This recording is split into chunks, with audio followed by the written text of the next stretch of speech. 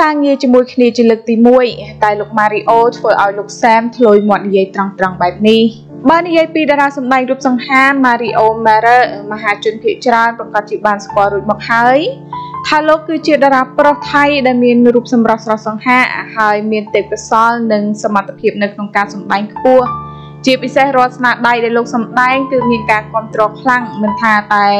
រឿងភាគឬក៏រឿងខ្នាតធំនោះឡើយថ្មីថ្មីនេះស្នាដៃចុងក្រោយរបស់លោកនិងតារាស្រីយ៉ាយ៉ានៅក្នុងរឿង Bad Romeo ក៏ហាក់ផ្ទុះការគ្រប់គ្រងខ្លាំងមិនធម្មតានោះដែរ ដោយមានមតិសរសើរជាច្រើនជុំវិញការសម្ដែងនិងសាច់រឿងប្លែកអារម្មណ៍មួយនេះនៅក្នុងនោះសូម្បីតែតារាប្រុសសាមយូរ៉ាណាន់ដែលជាតួសម្ដែងមួយរូបនៅក្នុងរឿងនោះហើយក៏ជារៀមច្បងក៏បានចេញមុខកោតសរសើរលោកម៉ារីអូផងដែរដោយលោកសាមបានពោលថានៅក្នុងរឿងគឺជាឪពុកក្មេងនិងកូនប្រសាហើយជាសត្រូវស៊ីសាច់ហត់ឈាមគ្នាតែម្ដងក៏ព្រោះតែភាពអាត្មានិយមហើយចង់ឈ្នះរៀងៗខ្លួន ក៏ប៉ុន្តែនៅក្រៅឆាកវិញគឺជាសិស្សច្បងនិងសិស្សប្អូនក៏ដូចជាពូនិងក្មួយខ្ញុំសូមសរសើរដល់ Mario មែនតានដែលហ៊ានទទួលសម្ដែងតួអង្គនៅក្នុងរឿងនេះ Mario គឺជាតារាសម្ដែងប្រុសឆ្នើមមួយរូបហើយសាច់រឿងមួយនេះក៏ត្រូវបត់បែនជាច្រើនរសជាតិក៏ប៉ុន្តែឯក្មេងប្រុសម្នាក់នេះគឺធ្វើរួចទាំងអស់អត់ទាស់សោះតែម្ដងបើចំនួនខ្ញុំនៅក្មេង Mario គឺច្បាស់ជាគូប្រជែងដ៏គួរឲ្យខ្លាចមិនខាន លោកសែមក៏បានសើចហើយគូប្រជែងនេះគឺជាគូប្រជែងដ៏គួរឲ្យខ្លាចគិតមើលទៅរូបវិញគឺស្រស់សង្ហាមបាច់និយាយទេពកោសលក៏ពេញខ្លួនហើយជាមនុស្សមានអត្តចរិតរុះរាយទៀតនៅខាងក្រៅឆាកគឺលោកជាក្មេងដែលចេះដាក់ខ្លួនស្គាល់ចាស់ទុំមានអត្តចរិតគួរឲ្យស្រឡាញ់ហើយសរសើរដល់ការតស៊ូដែលចូលសម្ដែងតាំងពីក្មេងរហូតមកទល់នឹងពេលនេះរីករាយណាស់ដែលបានធ្វើការជាមួយនឹង Mario ចានេះគឺជាពាក្យពេចន៍ដែលលោកសាមបាននិយាយបន្ទាប់ពីលោកបានចូលរួមសម្ដែងខ្សែភាពយន្តភាគដែលមានចំណងជើងថា Bad Romeo ជាលើកដំបូងជាមួយនឹងតារាប្រុស Mario គឺលោកសាមពោលពាក្យសរសើរលោក Mario មិនដាច់ពីមាត់តែម្ដងចាដោយដែលនឹងខ្ញុំបានជម្រាបជូនរំបាញ់មិញ ចាហើយសម្រាប់ព័ត៌មានខ្លីទី1នេះដែរក៏បានឈានដល់ទីបញ្ចប់តែប៉ុណ្ណេះហើយនាងខ្ញុំសូមបង្វែរអារម្មណ៍ពុកម៉ែបងប្អូនទាំងអស់គ្នាទៅតាមដានសម្ដាប់ក៏ដូចជាទស្សនាព័ត៌មានទី2ជាបន្តទៀតចាសសូមស្វាគមន៍មកកាន់ព័ត៌មានទី2ជាបន្តទៀតចាសម្រាប់ព័ត៌មានទី2នេះវិញគឺតកតងទៅនឹងតារាស្រីថៃបៃហ្វឺននិយាយចេញពីមាត់ច្បាស់ច្បាស់ថាបើអាចរើសបាននាងនឹងយកបរិះបែបនេះមកធ្វើជាប្តី កន្លងមកតារាសម្ដែងស្រីបៃហ្វឺនភីមចនុកតែងតែត្រូវបានមហាជនអ្នកគ្រប់គ្រងចាប់គូកងជាមួយនឹងអ្នកនេះអ្នកនោះមិនសូវជាដាច់នោះឡើយក៏ប៉ុន្តែយ៉ាងណាតារាស្រីរូបនេះគឺនៅតែអះអាងថាគ្រាន់តែជាពាក្យចចាមអារាមប៉ុណ្ណោះ ជាក់ស្ដែងគឺនាងពិតជានៅ single ពិតប្រាកដមែនពុំទាន់មានទំនាក់ទំនងស្នេហាជាមួយនឹងនរណាម្នាក់នោះឡើយដែលឡែកថ្មីថ្មីនេះផ្ដល់បទសម្ភាសន៍នៅក្នុងកម្មវិធី V25 Series 5G Lunch Event តារាស្រីរូបនេះគឺបានចេញទម្លាយពីរឿងរ៉ាវបេះដូងរបស់ខ្លួនផងដែរដោយនៅក្នុងនោះបៃហ្វឺនក៏បាននិយាយច្បាស់ច្បាស់ពីលក្ខណៈបុរសដែលនាងពេញចិត្តនិងចង់បានធ្វើជាគូអនាគតតាមរយៈការផ្ដល់បទសម្ភាសន៍តារាស្រីរូបនេះបានទម្លាយថាប្រសិនបើនាងអាចជ្រើសរើសបាន នាងនឹងយកបុរសនៅក្រៅរង្វង់សិល្បៈមកធ្វើជាគូអនាគត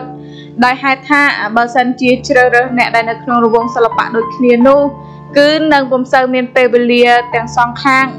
ដូចនេះដើម្បីកុំឲ្យមានភាពរញ៉េរញ៉ៃនាងសុខចិត្តជ្រើសរើសអ្នកដែលនៅក្រៅរមុំសិល្បៈវិញចានេះគឺជាពាក្យពេចន៍ដែលបៃហ្វឺនបានផ្ដល់បទសម្ភាសន៍កាលពីពេលថ្មីថ្មីនេះគឺនាងបាននិយាយថានាងចង់បានបរិះដែលនៅក្រៅរង្វង់សិល្បៈមកធ្វើជាស្វាមីជាជាងបរិះដែលនៅក្នុងរង្វង់សិល្បៈដូចគ្នា ដោយសារតែនាងគឺនៅក្នុងរង្វង់សិល្បៈស្រាប់ដូច្នេះគឺនាងដឹងថានៅក្នុងអាជីពមួយនេះគឺពុំសូវមានពេលវេលាគ្រប់គ្រាន់ឲ្យគ្នានោះទេចាស់ហើយសម្រាប់ព័ត៌មានមួយនេះដែរក៏បានឈានដល់ទីបញ្ចប់តែប៉ុណ្ណេះហើយនាងខ្ញុំសូមបង្វែរអារម្មណ៍ពុកម៉ែបងប្អូនទាំងអស់គ្នាទៅតាមដានសម្ដាប់ក៏ដូចជាទស្សនាព័ត៌មានទី3ដែលជាព័ត៌មានចុងក្រោយតារាកំ pl ែងនេះគ្រឿនបានទម្លាយខ្ទេចពីរឿងរ៉ាវជីវិតកាលពីជាង20ឆ្នាំមុន មហាជនអ្នកគ្រប់គ្រងពិតជាបានស្គាល់ហើយរាល់ការសម្ដែងរបស់តារាកំ pl ែងនេះគ្រឿនដែលតែងតែធ្វើឲ្យប្រិមិត្តអ្នកគ្រប់គ្រងសើចទប់មិនជាប់ជាមួយនឹងការប្រើប្រាស់ពាក្យសម្ដីកំ pl ែងបំពេអ្នកគ្រប់គ្រងប្រមាណជាងមួយទសវត្សរ៍មកហើយនៅលើឆាកសម្ដែងដែលតែងតែធ្វើឲ្យបងប្អូនយើងទទួលបាននូវសំណើចសើចក្អាកក្អាយលោកអ្នកគិតថាជីវិតនេះគ្រឿនគឺពិតជាសប្បាយជាប់រហូត ក៏ប៉ុន្តែអ្នកគ្រប់គ្រងពុំដែលដឹងពីជីវិតរបស់លោកថាហើយឆ្លងនឹងការលំបាកឬក៏ឧបសគ្គយ៉ាងណានោះទេតាមរយៈបទសម្ភាសន៍ជាមួយអ្នកសារព័ត៌មាននីគ្រឿនបាននិយាយអំពីជីវិតតស៊ូរបស់លោកនៅក្នុងវិថីសិល្បៈនិងមុនពេលចូលសិល្បៈថាមិនមែនងាយស្រួលនោះទេ វាគឺជារឿងពិបាកមិនធម្មតានោះឡើយក៏ព្រោះតែលោកត្រូវតស៊ូនិងត្រូវតែមានភាពអំណត់ជាខ្លាំង តារាកំ pl ៃនៃគ្រឿនដែលមានឈ្មោះប៉ាត់ថាចែមសារឿនបានរៀបរាប់អំពីជីវិតតស៊ូរបស់លោក នៅមុនពេលចូលសិល្បៈថាកាលពីឆ្នាំ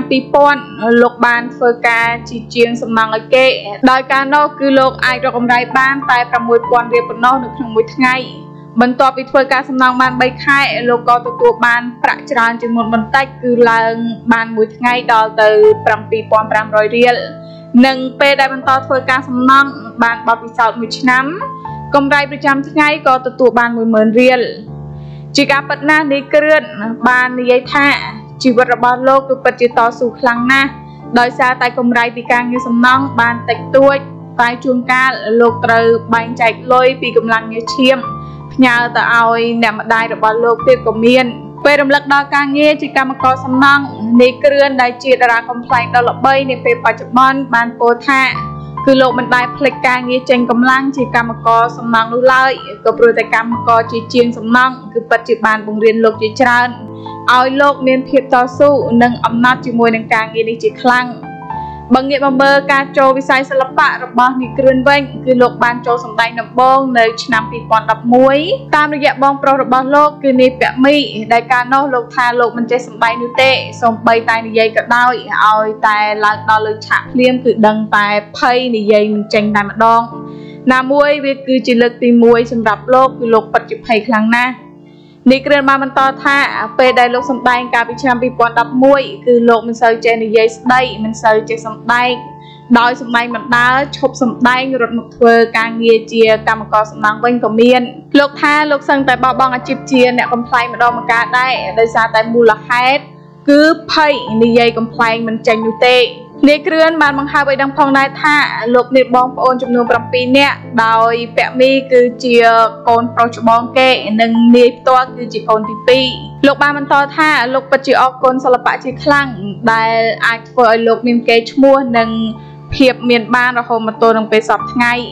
នេះគ្រឿងបានបន្តថាប្រសិនបើបងប្អូនចំនួនក្រោយដែលស្រឡាញ់សិល្បៈគឺត្រូវតែមានភាពក្លាហាន និងតស៊ូជាមួយសិល្បៈទៅអាចទទួលបានភាពជោគជ័យហើយនេះគ្រឿងក៏សូមជូនពរឲ្យពុកម៉ែបងប្អូនទាំងអស់គ្នាជួបតែសំណាងល្អរកស៊ីមានបាននិងជួបតែសុខសុភមង្គលនៅក្នុងគ្រួសារគ្រប់គ្រប់គ្នាចាពុកម៉ែបងប្អូនទាំងអស់គ្នាចាសម្រាប់ព័ត៌មានទី3ដែលតកតងទៅនឹងតារាកំ pl ែងដែលកំពុងតែទទួលបានប្រជាប្រិយភាពនាពេលបច្ចុប្បន្ននេះគឺនេះគ្រឿននៅពេលនេះដែរគឺបានឈានដល់ទីបញ្ចប់តែប៉ុណ្ណេះហើយចានាងខ្ញុំសូមអរគុណពុកម៉ែបងប្អូនទាំងអស់គ្នាដែលបានចំណាយពេលវេលាដ៏មានតម្លៃតាមដានសម្ដាប់ក៏ដូចជាទស្សនាគណៈពេលនេះដែរនាងខ្ញុំក៏សូមអរគុណ